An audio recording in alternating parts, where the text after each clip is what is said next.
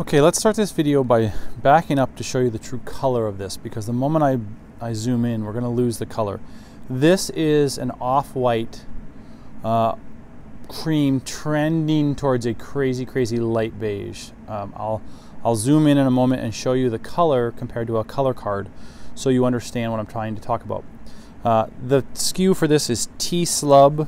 Uh, we have 60 yards at the moment. This is a remnant, so we can't get more. Uh, we have swatches, uh, yardage, and bulk pricing for, for larger quantities available. Um, this is a classic cotton slub. It's heavyweight, really thick, very workable. Um, that's one of the unique things about this fabric is that it is so heavyweight and yet it is so workable. So insulated drapes, um, many different types of window treatments, and then as well as upholstery. I mean, this is truly a durable piece. Excuse the camera shake, we'll zoom in and I'll give you a sense of it. Okay, so uh, this fabric, you get a sense here, you can now see, here's true white, here's our color.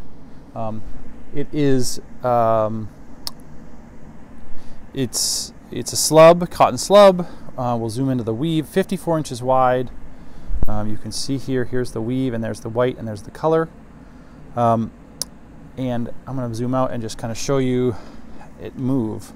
Um, again, very workable, very thick, very durable. Okay, um, so certainly enough drape in this, and certainly enough, very workable enough for any upholstery. But it's so thick. Um, it is technically reversible. It's the almost, almost, yeah, it's the same on both sides. So truly reversible fabric.